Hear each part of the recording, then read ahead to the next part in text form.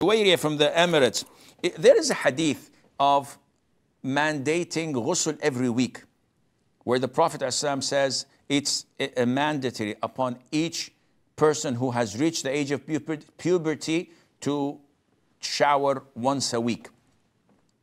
Ibn Abbas, may Allah be pleased with him, explained that to us. And he said, I'll tell you what the reason or what the wisdom behind this. At the early stages of Islam, we used to work in Medina hard labor. So we were farmers and we were traders and we used to work, work from Fajr till sunset and we had only one garment each.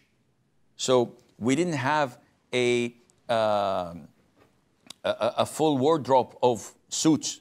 No, I had only one garment that's on me. And I have to take it and wash it and stay home naked until it dries, then I can wear it again. And it was made of wool. So as they were working under the sun and it's hot, you can imagine the smell, which was offensive coming from their bodies. With the wool, it's even worse. Like some say, it's not an odor, it's an dear.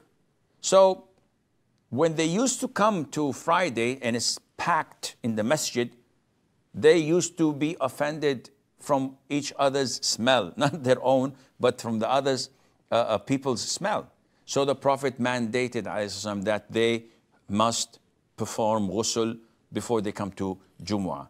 And then, few years down the line, when things became easier and money was among the people's hands and they could buy clothes, they could clean more often, this was uplifted. So I hope this answers your question.